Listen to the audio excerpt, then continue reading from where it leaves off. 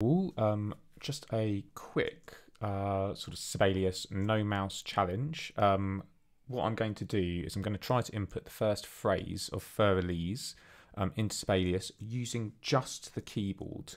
Um, um, I suppose I'm doing this because um, I want to show just how powerful sort of keyboard shortcuts can be in Sibelius uh, for kind of inputting your notes and sort of just getting getting like a really nice efficient work flow in the program.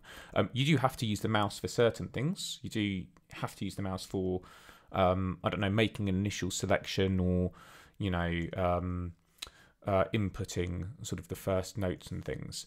Um, but uh, the vast majority of the work that you do in Sibelius can take place on the keyboard. Um, so anyway, I'm going to input the first phrase uh, of Für Elise, um, which I'm sure you're all familiar with, unless you've like been living under a rock for like I don't know, literally your entire life. Um, so um, yeah, let's just let's just crack on.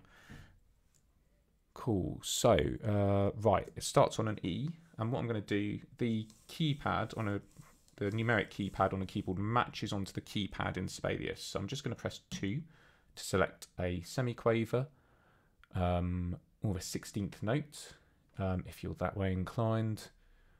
And yeah, then I'm going to start typing in note value. So we've got E, then it's a D sharp, and then another E, and D sharp again, B note, B, D natural, so put a 7 there, D, C, and then it's a quaver, A. And move across to the next value with the right arrow. Change that to two semiquavers by pressing 2, and it's a C. I'm going to move that down an octave by pressing Command and down, or Control and down if you're on a Windows device. And I'm going to keep typing in the notes. Whoops. I can come on that down an octave. And it's G sharp.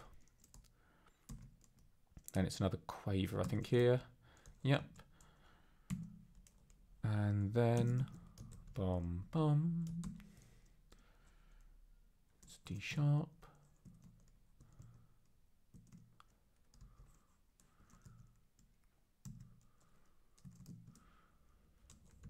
Yep. Dum. No, that's got to be down an octave. So command and down again. And then that's a quaver. Move across. Nope, I wanted that on the second one. Um, it's a C, but up the octave, so command and up.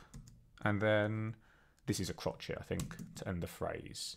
Right, there we go. So there's all the right hand notes. Fantastic. I'm just going to move back. I think I can press command and the left arrow to sort of move back bar by bar. Yep.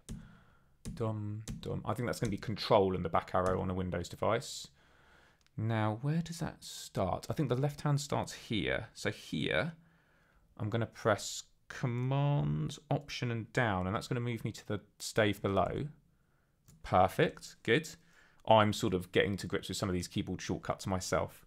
Um, and then I think I can start entering a left hand. Lovely. There's the first A, and it goes up to an E, and then up to an A again. And then it starts on an E, but down the octave from there, Dom. And then it's a G sharp. Mm. Then it's the same thing. Mm. Right, wonderful. And then, actually, I think it does the left hand's the same, as in there's a bar rest, um, and then it's yeah, it's exactly the same. I think in the second phrase is in the first. So I can select all of that. I did that by holding Shift and then pressing the left arrow, and I'm just going to press that. And if you press R on the keyboard, it will just repeat the material. So if we press R now, we should get there we go. That's it. And that, as far as the notes are concerned, looks about right. Um, super. I think we'll leave that there. I think that's probably about enough. So there you go. There's the first phrase of Für Elise Um, on um, on Sibelius using just the keyboard. Hope that was useful. See you next time.